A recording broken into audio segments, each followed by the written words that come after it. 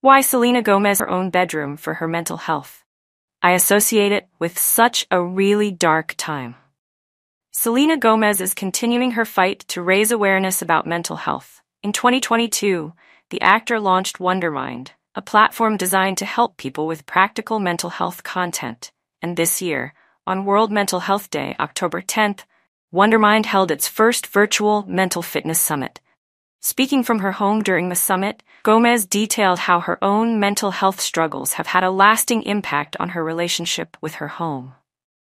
I spent too much time in my bedroom that I actually don't even sleep in my bedroom anymore, because I associate it with such a really dark time, she revealed in a video posted by Wondermind. She went on to explain how her struggles with anxiety had left her with a complicated relationship with her bedroom. Being anxious is so debilitating sometimes. I didn't want to leave my bed for years, and part of it was I wasn't doing the work. I wasn't doing the work, she said. You have to believe in yourself and do the work that will truly enlighten you a little bit. As Gomez then said, she still deals with anxiety to this day. As recent as last night, I was in bed and I couldn't fall asleep till about four. And it was just because my mind was simply racing, she said.